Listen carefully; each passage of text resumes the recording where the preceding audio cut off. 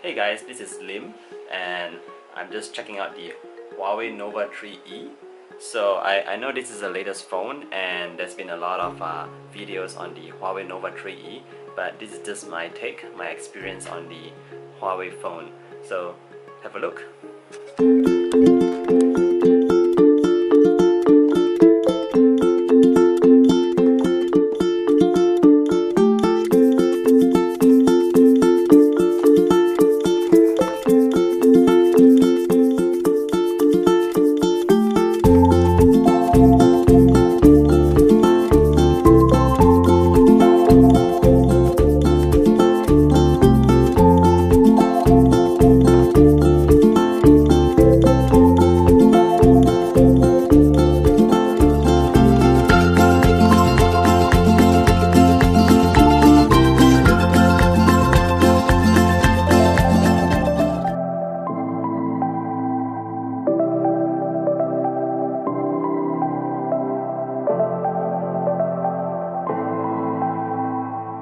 Okay guys, this is it, the unboxing of the Huawei Nova 3E or otherwise known as the Huawei P20 Lite in other countries.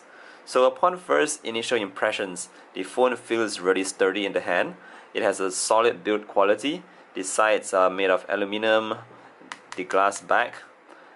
Plus, if you notice the design really follows the one of the iPhone X. So far it feels really snappy as well. I mean, this is a brand new phone so of course and it's running on the latest version of Android 8.0. There's also the headphone jack, your USB Type-C port, your volume rocker and your power button on the right, and just a very clean side on the left. Otherwise, yeah, I really like the design of this phone. I mean, there are a lot, a lot of people choosing the black and blue option, but I think this gold or pink, if you want to call it, looks really good too. So let me know what you think. Thanks for watching.